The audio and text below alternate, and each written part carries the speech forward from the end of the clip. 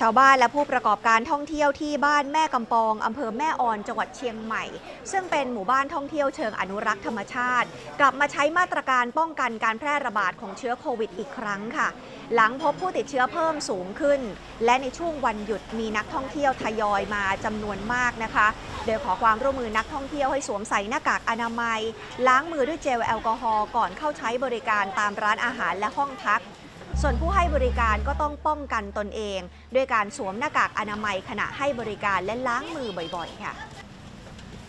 มีเจลล้างมือ มีจุดคัดกรอง ปกติครับที่ล้างมือ ก็ใส่แมสครับถึงแม้กฎหมายเขาจะไม่ห้ามแล้ว แต่เราก็ต้องป้องกันไว้ก่อนครับไม่ประมาทครับผมจะเป็นดีที่สุดครับ ถ้าหากนักเที่ยวเข้ามาเราจะแนะนำให้เขาบ้างไหม อ๋อกดเจลล้างมือก่อนครับ เจลล้างมือล้างมือก่อน แล้วนั่งที่โต๊ะครับ ครับนั่งที่โต๊ะแล้วค่อยสั่งรายการอาหารครับ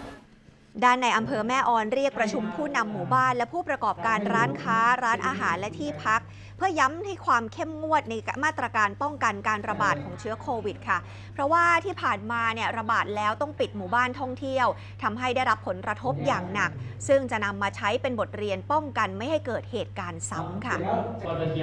ร้านอาหารต่างๆนะครับให้มีการตั้งโต๊ะเว้นระยะห่างนะครับและที่สำคัญก็คือการสวมหน้ากากนะครับซึ่ง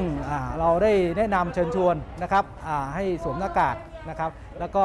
มันล้างมือ อันนี้ถือเป็นมาตรการนะครับที่เราพยายามที่จะให้บ้านพักแหล่งสานบริการในพื้นที่แม่กำปองได้ให้ความสำคัญเรื่องของการแก้ไขปัญหาโควิด ซึ่งจะเป็นทำให้ยกระดับการพัฒนา แหล่งท่องเที่ยวให้มีมาตรฐานด้านสาธารณสุขเพิ่มยิ่งขึ้นครับจากการสำรวจร้านขายยาในจังหวัดเชียงใหม่พบค่ะว่ามียอดจำหน่ายชุดตรวจ ATK มากกว่าเดิมหลายเท่าตัว เมื่อเทียบกับช่วงก่อนเทศกาลลอยกระทง เมื่อเดือนพฤศจิกายนที่ผ่านมาค่ะอืมช่วงนี้เหมือนกลับมาติดกันเยอะขึ้นครับผมก็บรรยากาศการขาย TK ก็กลับมาดีขึ้นครับอื มมากไหมครับ เยอะกว่าช่วงก่อนไหมเยอะกว่าช่วงก่อนครับ จะเป็นทั้งกลุ่มวัยรุ่นวัยทำงานวัยเด็กครับ เท่าที่เจอในร้านก็จะมีหลากหลายกลุ่มเลยที่เริ่มมีการกลับมาติดกันมากขึ้นครับผม ถ้าไปตรวจสอบที่จังหวัดน่านนะคะ ประธานชมรมที่พักจังหวัดน่านก็บอกว่าถึงแม้ว่าโรคโควิด นั้นจะถูกปรับเป็นโรคติดต่อที่ต้องเฝ้าระวัง แต่ว่าการพบผู้ติดเชื้อมากขึ้น รวมถึงมีช่วงวันหยุด มีนักท่องเที่ยวเดินทางเข้าจังหวัดน่านจำนวนมาก ผู้ประกอบการโรงแรมที่พักก็ยังใช้มาตรการเข้มงวดเหมือนเดิมนะคะ ให้พนักงานสวมหน้ากากอนามัยจากจุดล้างมือ มีการขอความร่วมมือนักท่องเที่ยวให้สวมหน้ากากอนามัยด้วยค่ะ